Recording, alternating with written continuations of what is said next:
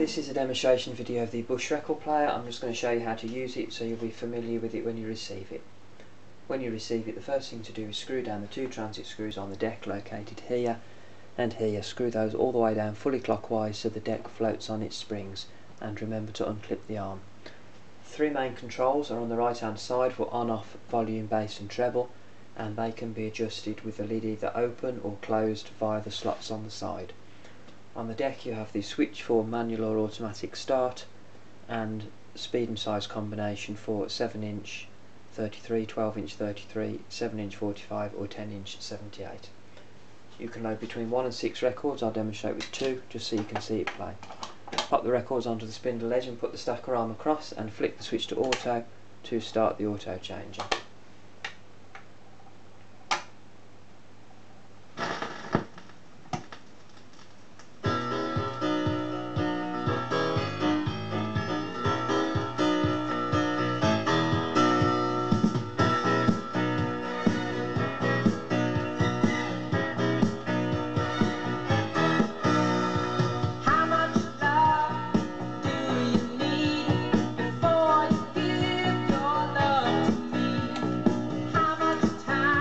Switch to auto again if you want to skip to the next record.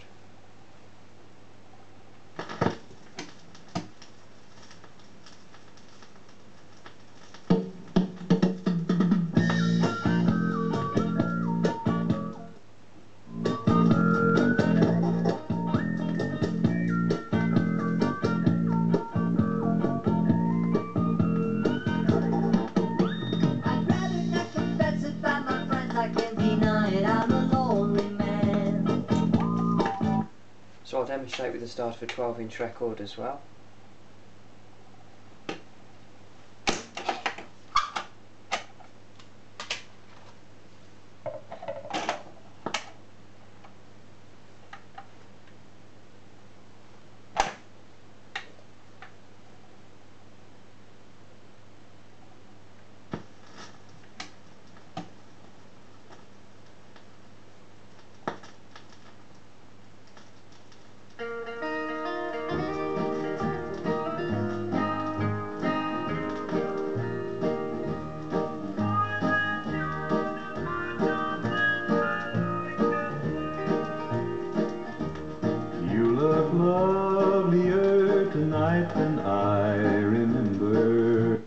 Course the arm lifts off automatically when it reaches the end of the record.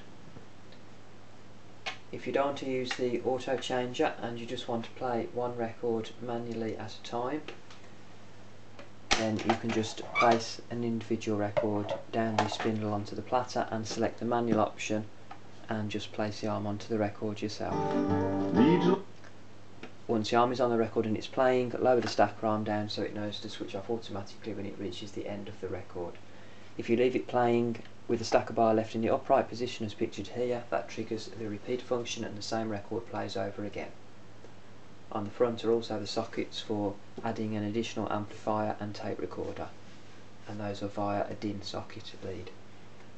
So I hope that covers everything for you. If you do have any questions when you receive it, I'll include my personal email address in with the machine and please use that method to contact me.